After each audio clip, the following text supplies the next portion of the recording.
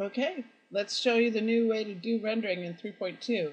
First thing I'm going to do is change my floor to white. I'm going to grab this white, I'm going to give it a little bit of a reflection, and there we go.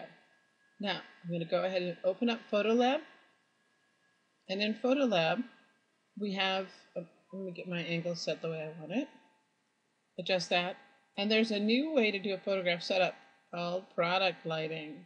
I'm going to go ahead and click that. It's going to set all my settings here, and all I have to do is hit render. I think you're going to like this because it has all the presets that you need.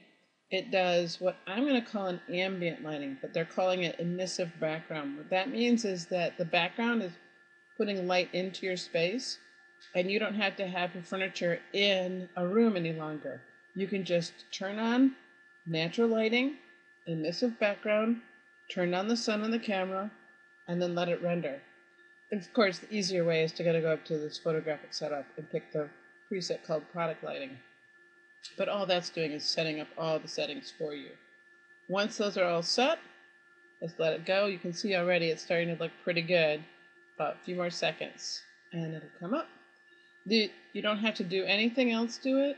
You don't have to, if it's too bright, then what we will do, let me see, I'll close out of here. If it is too bright, I'll do some post-processing and turn my color down a little bit. Let's see how it looks.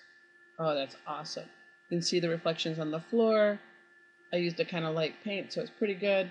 Now, again, I can take the brightness down a little bit if I want to. Give it higher contrast. Super. So, that's the new, what they're calling product lighting, and it uses the emissive background. Thank you!